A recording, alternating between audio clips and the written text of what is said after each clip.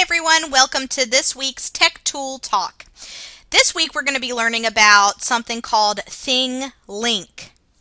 So the web address for this one is www.thinglink.com.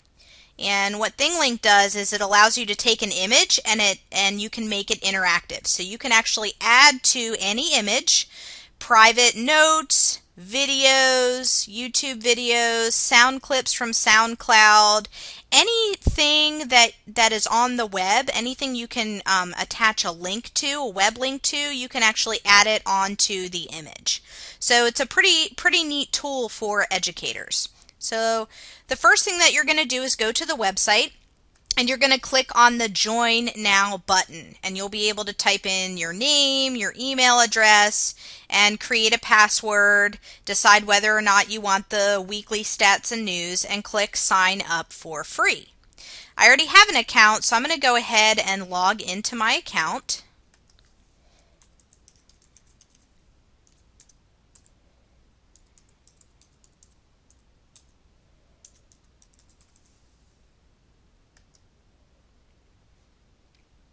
Okay. I'm logged in now. And there's a couple of things that I want to draw your attention to. First of all, you log in and you're automatically in your stream area. So what stream does is it brings you other interactive images that people have created um, for the people that you follow. So you could click here and find people to follow. As you can see, I'm not following anybody, so I don't have anything in my stream right now. So we're looking up here. The other thing that I can do is click on me, and this will show me images that I have created. Um, so you can see those here. But it also shows images that I have touched. So if I click on that, it'll show images that I have touched, and we'll talk about, you know, what that means. Um, people that I'm following and people who are following me. What's also pretty neat, a neat feature, is that you can actually browse content that's been created by other people. And you can look at what's hot today or what's hot this week, or you could search for something in particular. So let's search for um, space and see what comes up.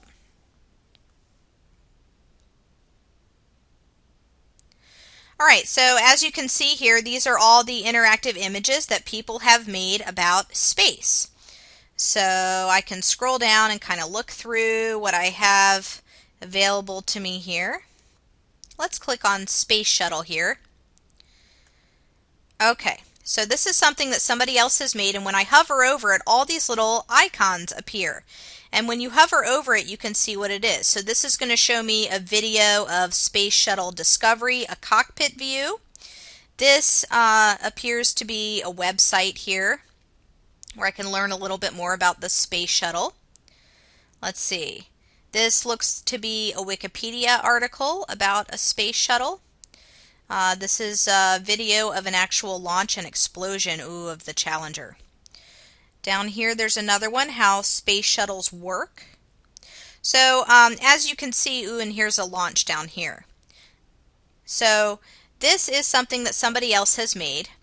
And if you hover over here, this image can be shared. So I can actually take this image and I can copy the link or embed it and I can post it to Edmodo, I can embed it onto my website, and my kids will be able to come and interact with this image. You can actually share it on Edmodo right from here, which is a great feature. You could also touch this image, so I'm going to go ahead and click on that. And what that does is it pulls it into um, your Me area under touched images so that you can always come back and revisit this.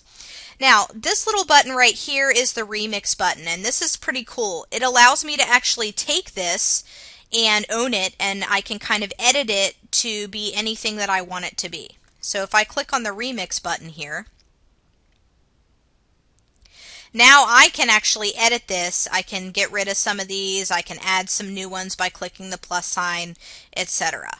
So this is a really, really neat little option here. Not everybody's has that remix option, so just be aware of that. Okay. Um, so if you click on the video, it will just launch right here in the window. So when your children watch this uh, or interact with this image, they can watch the videos as well. Okay, so let's go back into me and I'll go into my touches and you can see that the space shuttle has been added here. So you can always come back to this um, and interact with it and, and share it with your students. So that's the browse area. So you can search for anything. I found actually all these through browsing um, which we'll talk about uh, a little bit. So I found one about linear equations. I found one about adding and subtracting mixed number fractions.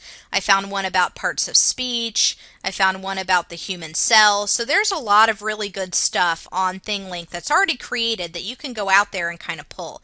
I found a great one about Martin Luther King Jr. Um, since that holiday is is around this time period when I'm creating this video. So that's under the, the browse section. So just be aware that that's an option for you. Now let's focus on creating because I want you to know and be able to create your own thing links. So I'm going to click on this create button here. Um, and you can actually upload photos from your computer. You can import them from Facebook. You can pull them in from Flickr or you can use a web link. So in this case, I'm going to go ahead and pull in an image from my computer. So I'm going to click on choose images and I'm going to make an image. I'm going to use Kwame Nkrumah here because I'm going to make a ThingLink about uh, Pan-Africanism. Okay, so here's my image. I can click to add a tag. Okay. So this is what's pretty pretty neat about this. I can actually search for content here. So I'm going to search for Pan-Africanism and see if anything pops up. So these are things that I can pull straight from, from you know, ThingLink. Um, so some of this is from YouTube, some of it's from Vimeo, um, some of it is, uh, look, somebody else has made one about Kwame Nkrumah from Th- ThingLink, and they've used exactly the, the image that I used. Pan Africanism from Amazon, so that's probably a book or something. You know, different things that, that you can pull in, which is pretty neat. So this pulls things from SoundCloud. Uh, ooh, here's something from SoundCloud. This is a roundtable discussion about Pan Africanism that I could use. Now, I would caution you, you just kind of want to make sure that you preview any content that you pull um, from here and make sure that it's exactly what you want your students to be interacting with and that kind of thing before you actually share it with your students. So I think that this uh, thing from SoundCloud might be kind of neat.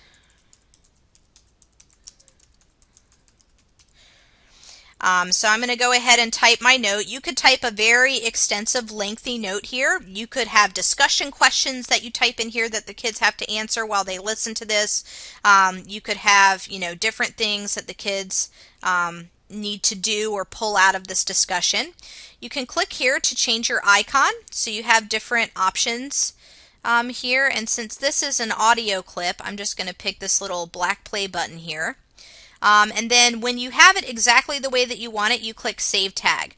I'm going to actually move this down here kind of out of the way and I'm going to click Save.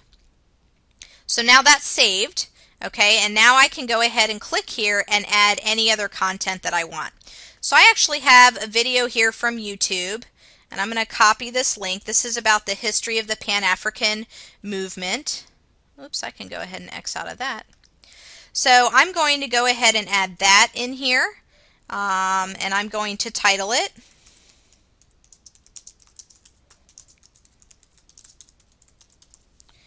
History of the Pan-African Movement. I'm going to change this icon because I want my students to have sort of a visual differentiation between what an audio clip one looks like and what a video clip one looks like. And I'm going to click, let me move this down a little bit. Now I'm going to save it.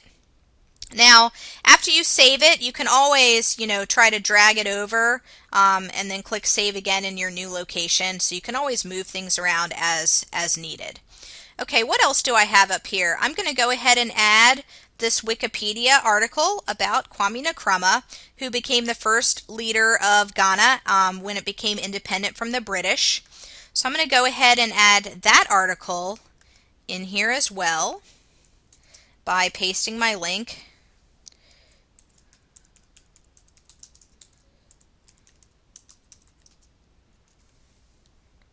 And I'm going to change my icon because this is not a video. Um, so I'm going to make it information. And I'm going to save the tag there.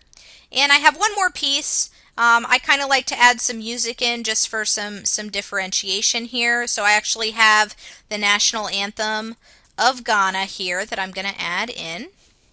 So I'm going to add that over here.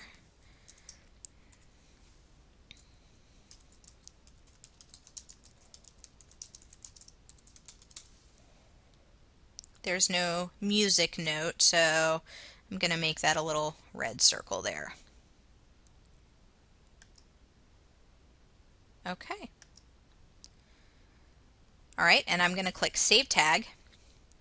Okay, so basically this is my, my thing link now. And up here is where I change the actual title of this thing link. So I'm going to pull up my standards and I'm going to highlight and copy the name of the standard. Oops. And I'm going to go ahead and paste that right here. Um, so that can be the, the title of my thing link so that my students have some type of, of focus here. And I'm going to go ahead and click Save. Okay, so here's my thing link. Now, what am I going to do with this? Well, um, here are my share options. So I can click on share. Now, I have a link here so I can share the link with my students. I could post it to Edmodo or Facebook or Twitter or Pinterest or Google Plus or Tumblr or whatever I'm using here. Email. Um, I can embed it in my website. So that's another option and my, my students can go straight to my website and interact with it without having to come to this uh, website, to the ThingLink website. So um, that's what you can go ahead and do. Now, if I go back into my me now, so we have created that, here's my, my thing link. So I always have it in my personal images. And if I need to go back and get the code again, I can just click on it and click my share again. And here's, here's my link. So that's great.